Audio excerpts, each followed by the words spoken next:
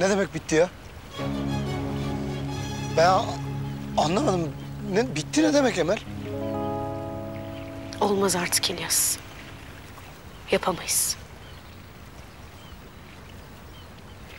Vaz mı geçiyorsun ben? Seni unutur muyum?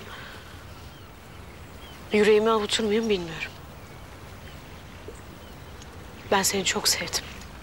Herkesten daha çok sevdim. Kendim bildim.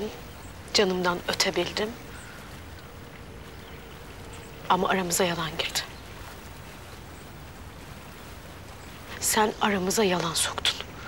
Evet. Sen benim ne kadar canım yandığını biliyor musun? Ancak ölüm olsa bu kadar canım yanardı. Sen aramıza getirdiğin yalanı soktun. Gözlerimin içine baka baka yüreğimin nedenli yandığını göre göre babamın yaşadığını sakladım benden. Sen aramıza yalan soktun İlyas. Ben senin gözlerinin içinin derinliğinde kaybolduğumu sanırken meğer bir yalanın içinde kaybolmuşum.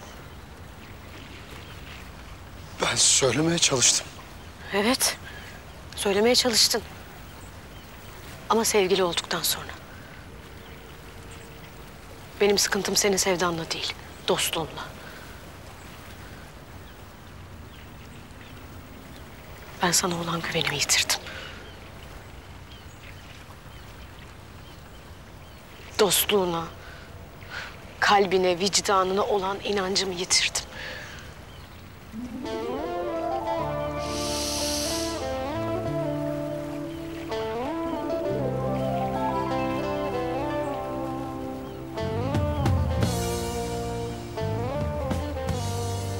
Bil ki ben avucuna bu yüzükleri değil.